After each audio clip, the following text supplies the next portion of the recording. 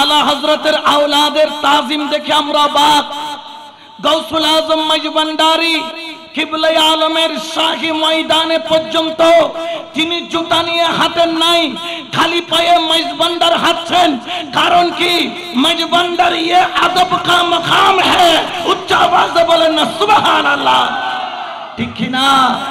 এটা নতুন করে আবার প্রমাণ হয়ে গেল। যারাই বাংলাদেশের মধ্যে বেলায়েতের কর্মকাণ্ড পরিচালনা করার জন্য আসবে। গৌসুল আজম মেজবান্ডারির দয়ার দুয়ার ছাড়া কোনো উপায়? আরও জোরে বলেন না, কোনো উপায়?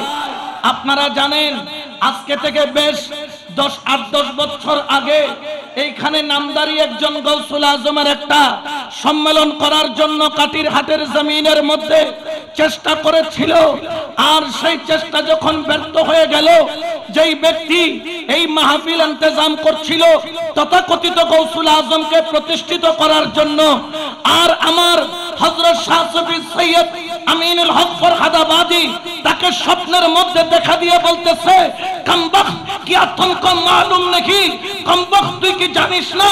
গৌসুল আজম মজবান্ডারি নে গৌসুল আজম মজবান্ডারি ধলই আর কাটির হাতের জিম্মেদারি আমি সৈয়দ আমিনুল হক ফরহাদাবাদীকে দিয়েছে। উচ্চ আওয়াজে বলে সুবহান ঠিক কিনা? আরও জোরে বলেন না, ঠিক কিনা? আমার গৌসুল আজম মাইজবান্ডারি মরানা জিন্দা। আরও জোরে বলেন, মরানা জিন্দা। আমার সৈয়দ আমিনুল হক ফরহাদাবাদী, হুজুর কিবলা, বাংলার জমিনে যিনি আলা হজরত নামে খেত তিনি মরা নাকি জিন্দা? আরও জোরে বলেন না, মরা না জিন্দা? কারণ একটা কথা আছে, রাখে আল্লাহ। জোরে বলেন না, রাখে আল্লাহ। আল্লাহ যাকে জিন্দা রাখে, মোল্লা কি তাকে মারতে পারে? জোরে বলেন না, পারে।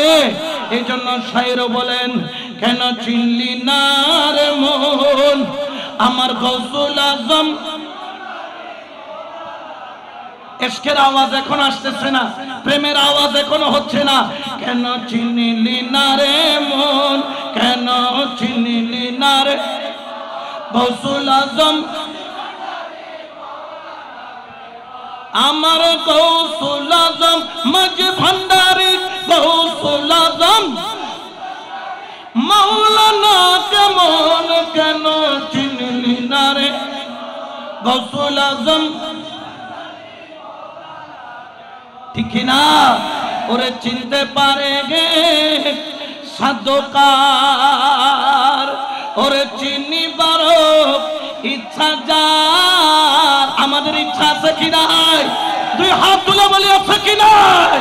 ওরে চিনতে পারে সাধকার, চিনি যার চিনতে পারে সাধকার। চিনি বারো হৃদয় চোখে দরিয়া দেখো, হৃদয় চোখে দরিয়া দেখো। জ্ঞানের দুর্ভিক্ষণ কেন চিনলি? গৌসুল আজম, মাওলানা কেমন